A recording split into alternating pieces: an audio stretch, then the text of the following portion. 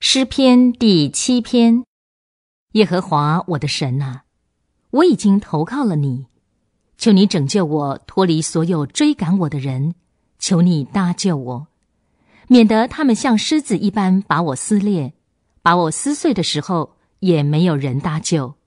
耶和华我的神啊，如果我做了这事，如果我手中有罪孽，如果我以恶回报那与我为友的人。或是无故掠夺与我为敌的人，就任凭仇敌追赶我，直到追上，把我的性命践踏在地上，使我的光荣归于尘土。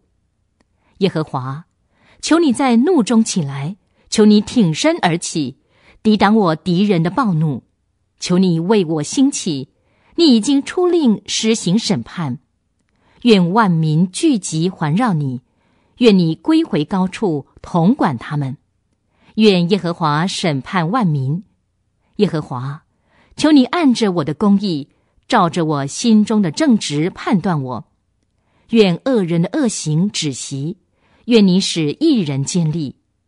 公义的神啊，你是查验人心肠肺腑的。神是我的盾牌，他拯救心里正直的人。神是公义的审判者。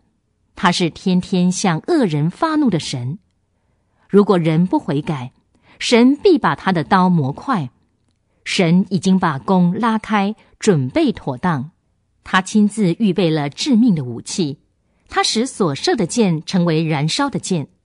看呐，恶人为了罪孽经历惨痛，他怀的是恶毒，生下的是虚谎，他挖掘坑穴，挖得深深的。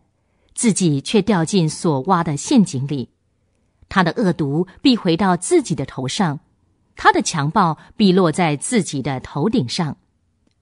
我要照着耶和华的公义称谢他，歌颂至高者耶和华的名。